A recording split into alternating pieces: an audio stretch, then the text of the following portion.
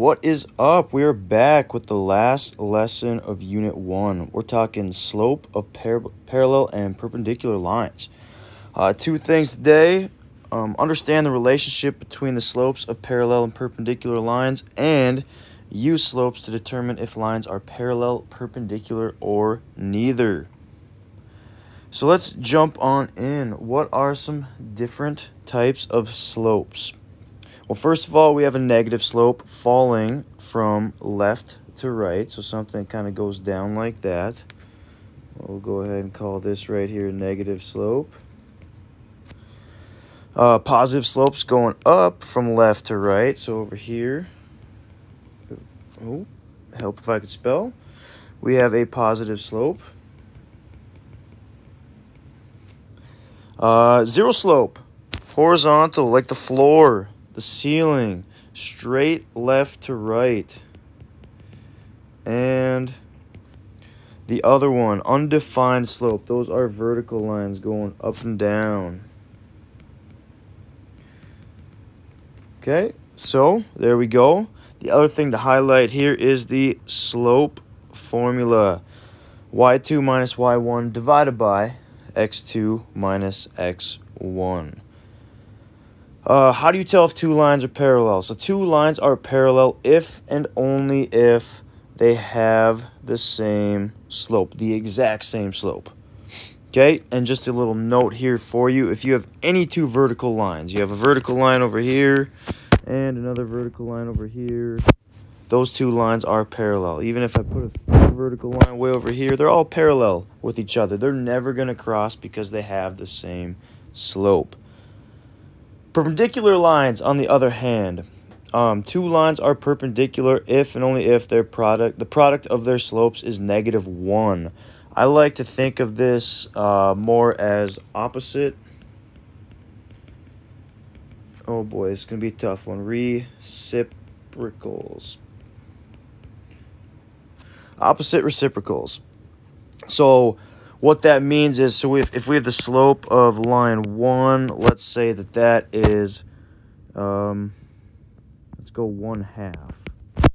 Okay, that means the slope of line 2, you need the reciprocal of 1 half. So you just take um, those two and flip them. So the slope would be uh, 2. 2 over 1, but you don't really need the over 1 part. 2 over 1 is just 2 simplified.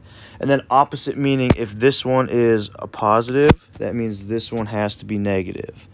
Um, another quick example then would be if my the slope of the first line is 3, that means the slope of the second line is, um, so we got a, first of all, it has to be negative. That's positive 3, it has to be negative. So now we have to figure out um, what is the reciprocal of 3? So just off to the side here, 3 is the same thing as 3 over 1.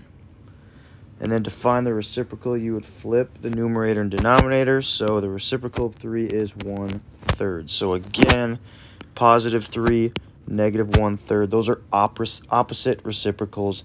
Those would be perpendicular lines. So here we just have one example. Uh, tell whether the lines through the given points are parallel, perpendicular, or neither. So we need to use the slope formula here. So let's start with line number one. The slope of line number one is, so I'm going to go ahead and label these. Actually, we're going to go x1, y1. It's the first x coordinate, the first y coordinate. This is going to be x2, the second x coordinate, and y2, the second y coordinate. I'll actually go ahead and write down the slope formula over here as well. So we're taking the y values, y2 minus y1, divided by x2 minus x1. So we know y2, we know y1, we know x2, we know x1. We just need to plug them in and simplify. So starting with y2, that's negative 2 minus if I subtract y1, that's 1. Okay. In the denominator, x2 is negative 7 minus, it's always minus, negative 3. Let's clean this up a little bit here. Up top, negative 2 minus 1 is negative 3. That wasn't too bad. On the bottom, though, we kind of have a lot going on. We have two negative signs back to back, right, ooh, right here in the middle. Um, if you remember, if we have two negative signs back to back, we can just change that to addition. So negative 7 plus 3. So these both become addition, which maybe makes that a little easier to clean up. Negative 3 divided by, so negative 7 plus 3 would be negative 4. Um, one last small thing here. We have a negative sign. We have a negative 3 divided by negative 4. A negative number divided by another negative number actually makes the whole thing positive. So there is the slope of my first line, 3 fourths. Um, as you get as you have a little more practice doing this, this will get a lot easier. You don't have to show me every step. You can combine a couple steps, hopefully. Um, so let's jump ahead to line 2 here. Again, I'm going to label x1, y1, x2, y2. And then I just plug and chug. y2 is 4 minus y1 is negative 1 divided by x2 is 8 minus 2.